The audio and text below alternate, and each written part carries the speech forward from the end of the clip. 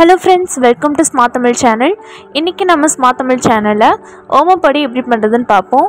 இது ரொம்ப ரொம்ப ஈஸியான ஸ்நாக்ஸு வாங்க வீட்டுக்குள்ளே போகலாம். ஓமப்பொடி செய்கிறதுக்கு ஒரு மிக்ஸி ஜார் எடுத்து அதில் ஒன் ஸ்பூன் ஓமம் சேர்த்துக்கோங்க. அரை கப் தண்ணி சேர்த்து இதை வந்து லைட்டாக அரைச்சிக்கலாம். அரைச்சதும் இதை வடிகட்டி வச்சுக்கோங்க. இப்போ நம்ம மாவு கலந்துக்கலாம். அதுக்கு ஒரு பவுலில் ஒரு கப் கடலை மாவு சேர்த்துக்கோங்க. இது கூடவே கால் கப் அரிசி மாவு சேர்த்துக்கோங்க. தேவையான அளவு உப்பு சேர்த்துக்கோங்க. கால் ஸ்பூன் மஞ்சத்தூள். இது எல்லாத்தையும் நல்லா மிக்ஸ் பண்ணி விடுங்க. ஒன் டேபிள் ஸ்பூன் எண்ணெய் சேர்த்துக்கலாம். எண்ணெய் வந்து நல்லா சூடு பண்ணிவிட்டு சேர்த்துக்கோங்க. இதை நல்லா கலந்து விடுங்க. ஓம தண்ணி சேர்த்துட்டு மாவை பசைஞ்சு விடுங்க. உங்களுக்கு ஓம தண்ணி பத்தலை அப்படின்னா தண்ணி சேர்த்துட்டு மாவை பசைஞ்சுக்கலாம். மாவு நல்லா பசைஞ்சாச்சு.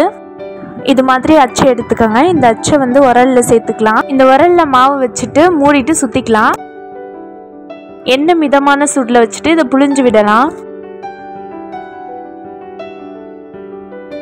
இந்த ஸ்டேஜ் வரும்போது ஒரு வாட்டி திருப்பி விடுங்க.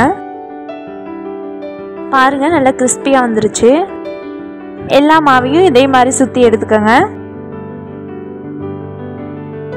அடுத்தது இதே எண்ணெயில் கருவேப்பிலை பொரிச்சு எடுத்துடலாம். இது மாதிரி கருவேப்பிலை பொரிச்சு போடும்போது வாசனையாகவும் இருக்கும் டேஸ்டாகவும் இருக்கும். இப்போ நம்ம இதை க்ரஷ் பண்ணிக்கலாம். இது மேலே நம்ம பொறிச்சு வச்ச கருவேப்பிலை சேர்த்துக்கலாம். அவ்வளோதான் டேஸ்டியான ரொம்பவே ஈஸியாக செய்யக்கூடிய ஓம்பு பொடி ரெடி ஆயிடுச்சு. இந்த வீடியோ உங்களுக்கு பிடிச்சிருந்துச்சுன்னா லைக் பண்ணுங்கள் ஷேர் பண்ணுங்கள் மறக்காமல் ஸ்மார்ட் தமிழ் சேனலை சப்ஸ்கிரைப் பண்ணுங்கள்